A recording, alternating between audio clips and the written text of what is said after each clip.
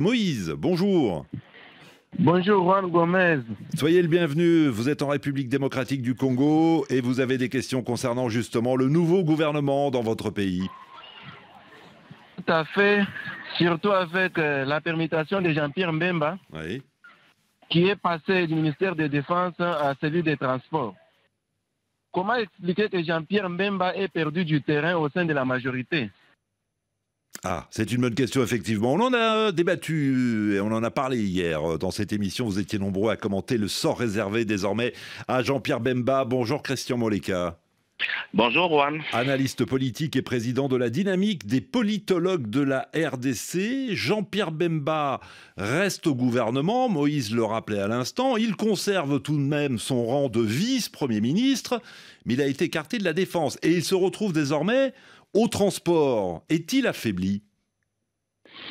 On peut dire que oui, euh, parce que euh, malgré les apparences de sérénité euh, qu'il a représentées durant son, son, occupation de poste de ministre de la Défense, il y avait énormément de tensions entre lui et le serrage sécuritaire du président. Et donc, on peut considérer son éviction comme la victoire du sérail présidentiel sécuritaire, formel comme informel, euh, qui, qui s'opposait euh, à lui sur beaucoup de dossiers, notamment liés à la question sécuritaire. Donc pour lui, c'est un camouflet personnel, c'est euh, un échec personnel, même si on, les garde au gouvernement parce qu'il reste un allié assez important. Effectivement, rappelons qu'il est le patron du MLC, cette formation politique qui a soutenu Félix Tshisekedi durant la campagne électorale. Votre deuxième question, Moïse?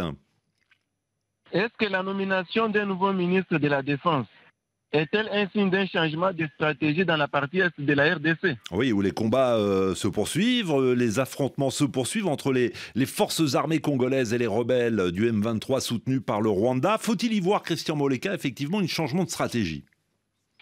Pas, vraiment. Par contre, c'est davantage l'emprise euh, du sérail présidentiel sur les questions des défenses.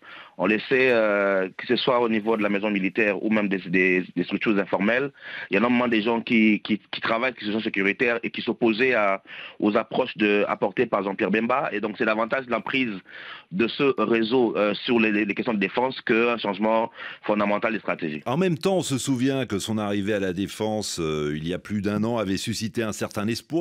Jean-Pierre Bemba, faut-il le rappeler, étant un ancien chef de guerre, un ancien euh, rebelle, et on a vu que malgré euh, ce passif, on va dire, euh, le conflit n'a cessé de, de s'enliser. Donc il faut, bien, il faut bien à un moment donné pour changer de stratégie. Oui, parce que la diplomatique est plus complexe et dépasse les, capacités d'une seule personne.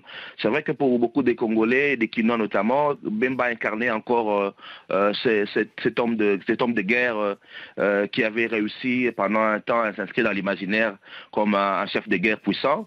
Et donc, dans l'imaginaire pour le collectif au Congo, beaucoup pensaient, ont lié son passé de chef de guerre à, des solutions concrètes. Alors que la guerre à l'Est, c'est une guerre qui s'inscrit dans la durée, plus de 27 ans, qui, qui se construit avec une économie des guerres qui détient un volet diplomatique assez, assez important, et donc il va peut-être prendre un peu plus de temps que, euh, que, le souhaitent beaucoup de Congolais. Et, en même temps, il y a énormément de réformes à mettre en place. Et on a quand même eu la loi de programmation financière qui aujourd'hui au centre de beaucoup d'enjeux, y compris peut-être son départ aussi. Mm. Mais il y a énormément de réformes à mettre en place. Il y a énormément des, des questions euh, d'organisation interne qui nécessitent un travail de profondeur. Et seule, sa, simple personne n'aurait pas suffi à tout régler.